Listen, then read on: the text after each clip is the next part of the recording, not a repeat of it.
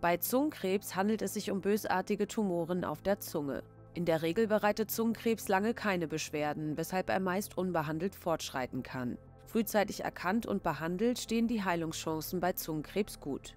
Diese Symptome sollten ernst genommen und ärztlich abgeklärt werden. Erstens Belag auf der Zunge.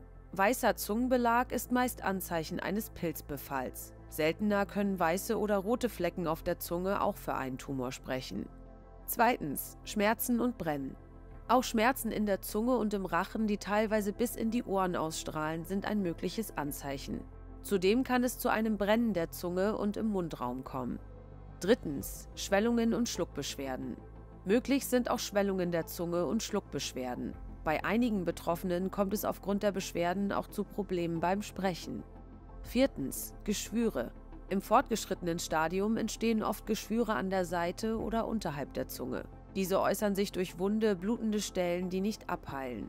Im weiteren Verlauf bildet sich dann ein Tumor, der blumenkohlartig flach auf der Zunge oder als Knubbel sichtbar sein kann.